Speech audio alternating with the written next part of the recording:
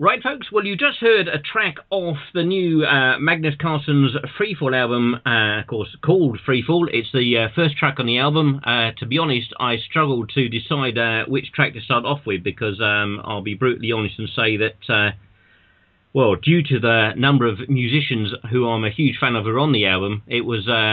As it goes right. Let's just go with the first track and, and, go with the flow. And I'd like to welcome to the show now the man himself, Mr. Magnus Carlsen. Thank you very much.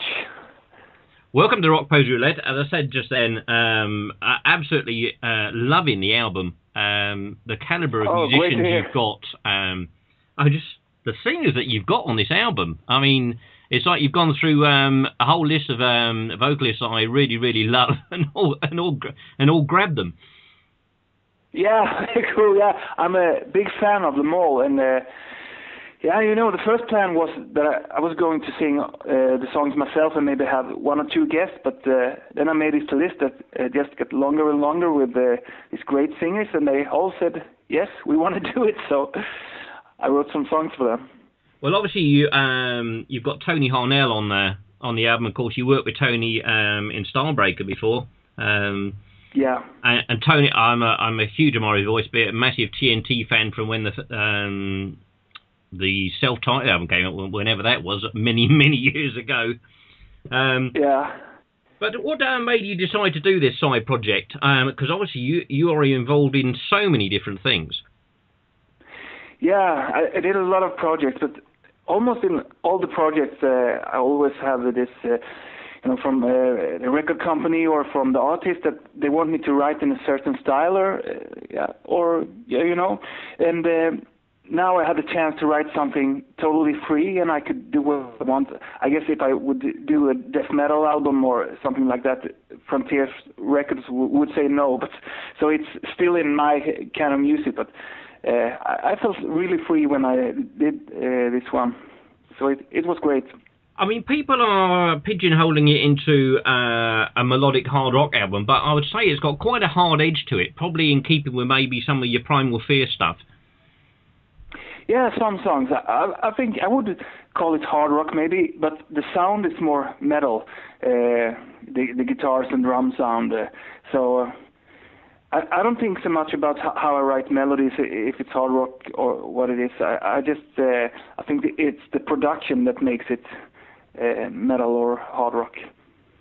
I'm going to say, uh, based from the feedback you've probably been getting with this album, um, is it uh, something that you're going to release a second album of? We haven't decided yet. Uh, I guess the uh, Frontiers Records they they are waiting for the sales and and, and see how it goes. Right. And uh, but I would like to do it. Actually, that uh, guest list w- was a little bit longer, so I have a couple of singers I can could uh, have on the next one. So I hope we will do it.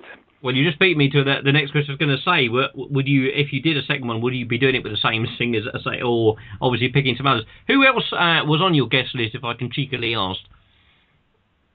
Yeah, I, I was asking um, Joe Lynn Turner, for example, and he really liked the song, but he was touring uh, uh, in, I think, in Russia, or he couldn't make it for this one, and. Uh, Actually, I, I think you maybe I, I can't sing like Joe Lynn Turner, but uh, on the demos I try to sing a little like the singers, so it, it, it will be easier for them to.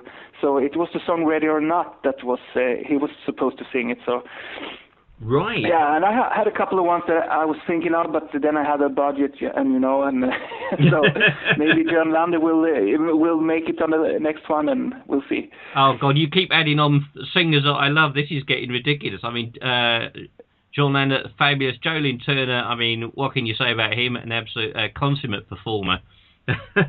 yeah, as I said, it's definitely my wish list I, I, of I to, uh, Yeah, yeah, me too. That that's why I'm trying to have the ones that I really like, and then it's easy to write good songs if you have these great singers that you really admire. One album that you worked on, um, which I will just mention, which um, another guy who I um, I like, uh, well, first of all through his main project, Bob Catley, was the Immortal album, which is absolutely superb, and of course um, you did all the writing on that album.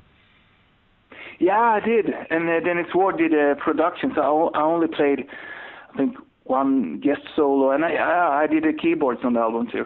Yeah, I really I'm a big big fan of Bob, Bob Catley and listen a lot to the Magnum albums, and that was really an honor to write those songs, and I I hope we can do something in the future. Again, I think I, it, I think he's quite. Bu- sorry, go on. he's quite busy with with Magnum and uh, Avantasia right now. So.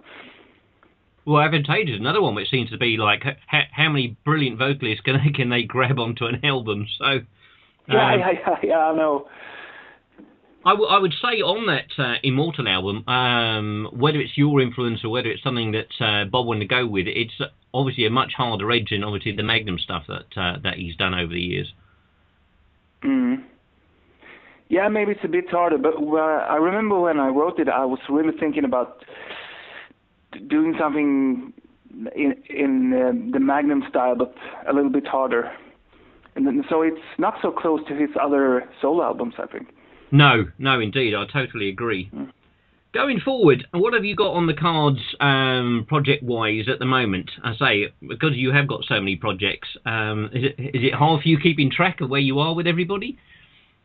Yeah, I think it's uh, quite cool, and I I don't write that much anymore because I have small kids, and I I I also Sure. uh, have Primal Fear that takes a long time. We we, we are touring, and uh, we I actually did a, a festival last week with them, and uh, yeah, it it takes a lot of time. But we are working on the new Primal Fear album right now, and I'm uh, I'm done with my guitars, and we're gonna start with the drums on Monday, and it's yeah, it feels really great.